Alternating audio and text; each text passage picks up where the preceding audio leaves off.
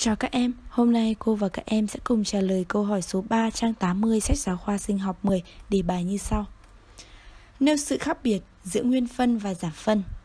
Để trả lời chính xác cho câu hỏi này, các em cần nghiên cứu kỹ nội dung bài 18 nguyên phân và bài 19 giảm phân sách giáo khoa sinh học 10 trang 76-77.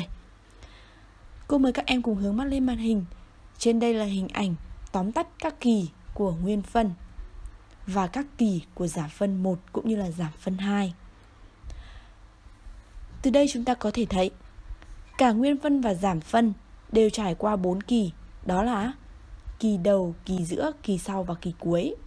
Đặc biệt, trước khi bước vào kỳ đầu thì đều có kỳ kỳ trung gian. Tại kỳ trung gian thì các nhiễm sắc thể được nhân đôi.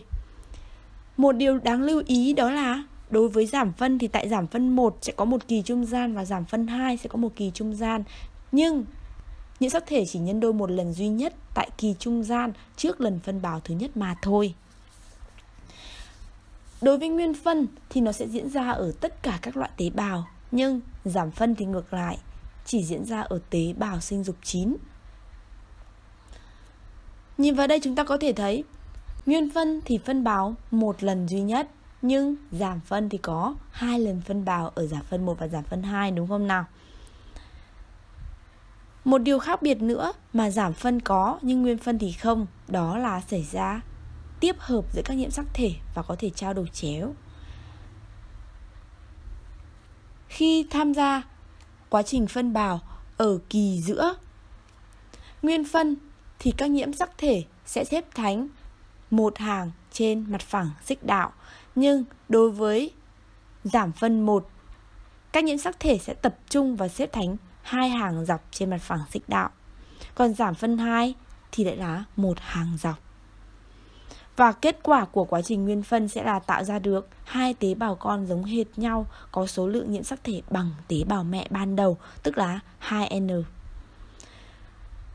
Còn nguyên phân, còn giảm phân thì ngược lại không hề tạo ra hai tế bào con giống hệt tế bào mẹ và giữ nguyên bộ nhiễm sắc thể, mà nó sẽ tạo ra bốn tế bào con có số lượng nhiễm sắc thể giảm đi một nửa so với tế bào mẹ. Đây là những sự khác nhau cũng như là giống nhau giữa nguyên phân và giảm phân mà các em cần lưu ý. Cô thống, cô hệ thống lại thành một bảng để chúng ta dễ dàng so sánh với năm tiêu chí nơi diễn ra của nguyên phân và giảm phân Số lần phân bào. Nguyên phân là một lần, giảm phân là hai lần. Tiếp hợp và hoán vị gen chỉ có ở giảm phân. Cách sắp xếp những sắc thể trên mặt phẳng xích đạo của thoi tơ vô sắc. Như cô vừa trình bày Nguyên phân là xếp thành một hàng dọc Giảm phân. Thì ở giảm phân 1 là hai hàng dọc Và giảm phân 2 là một hàng dọc. Và kết quả Nguyên phân tạo ra hai tế bào con giống hệt mẹ. Còn giảm phân tạo ra 4 tế bào con và số lượng nhiễm sắc thể giảm đi một nửa. Như vậy, cô và các em vừa trả lời xong câu hỏi số 3, trang 80 sách giáo khoa sinh học 10.